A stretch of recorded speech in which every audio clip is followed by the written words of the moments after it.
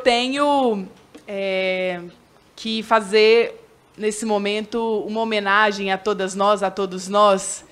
E eu acho que, por meio do Marighella, nós temos condição de sublimar também o sentido dessa luta, que é em defesa do comum, que é em defesa do bem viver, né? em defesa de um bom lugar para todo mundo, porque é por isso que a gente luta por democracia. A gente não luta por democracia porque a gente acredita nessas instituições como um fim em si. A gente luta por democracia como uma condição para a nossa emancipação, para a nossa liberdade. Isso foi dito tantas vezes, né?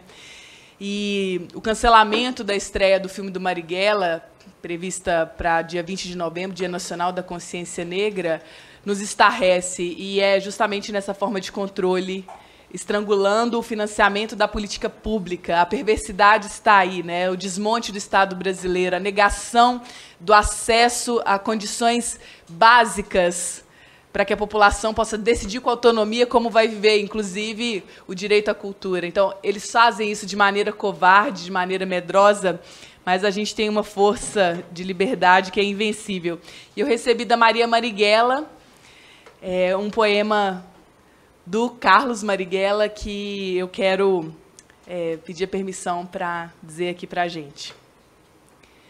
Não ficarei tão só no campo da arte, e ânimo firme, sobranceiro e forte, tudo farei por ti para exaltar-te, serenamente alheio à própria sorte, para que eu possa um dia contemplar-te dominadora, em férvido transporte, direi que és bela e pura em toda parte, por maior risco em que essa audácia importe.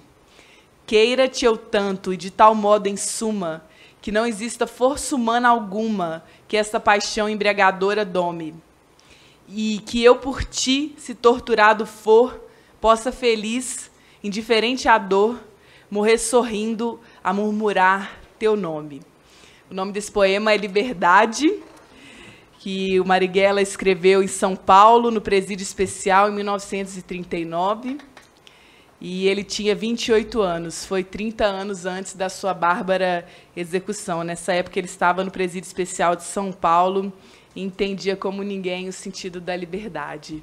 Então, é por essas memórias invencíveis que nós estamos aqui, que nós seguimos para atravessar essa temporada trevosa, mas que vai passar, vai passar. E a gente precisa ficar firme para fazer essa travessia. Muito obrigada, gente.